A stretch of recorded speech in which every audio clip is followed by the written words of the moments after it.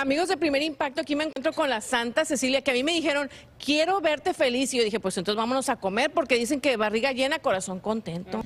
Pues este día tenemos eh, nuestras famo- famosas tlayudas, que consiste de una pasta de frijol. Creo que es lo más importante, ¿no? Agarrar el sabor del- de la pasta de frijol. También tenemos eh, cecina, chorizo, tasajo y tenemos cuatro moles aquí, que es el mole verde, el coloradito, el mole negro. Y no podía faltar el mezcal, al que le atribuyen propiedades curativas. Me estabas contando que tu abuelito tienes uno de 95 y otro de 90 y que el secreto de su juventud es que todos los días le entran al mezcal. Así, mi abuelito, así es, mi abuelito Margarito dice, tómate tu chocomil por las mañanas. Y su este, es su, cho- este es su chocomil. Y precisamente fue hasta la tierra del benemérito de las Américas, Benito Juárez, que la agrupación viajó para filmar el video musical del tema Quiero verte feliz, en colaboración con Lila Downs y Juanes.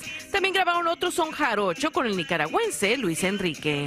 Para nosotros fue como un refugio, la verdad, y una salvación, este, seguir eh, haciendo música, ¿no? A pesar de que estar- estuviéramos todos en casa en la pandemia. Tras casi dos años de encierro están por iniciar una gira. Y escuchen lo que opinaron sobre la controversia generada por J Balvin, descontento por las nominaciones al Latin Grammy en el género urbano y su llamado a un boicot.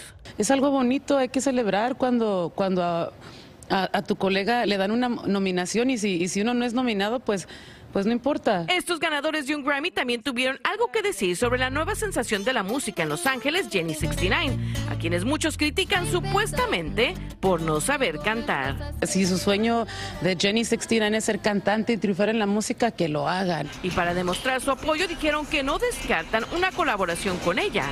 En Los Ángeles, Magali Ortiz, primer impacto.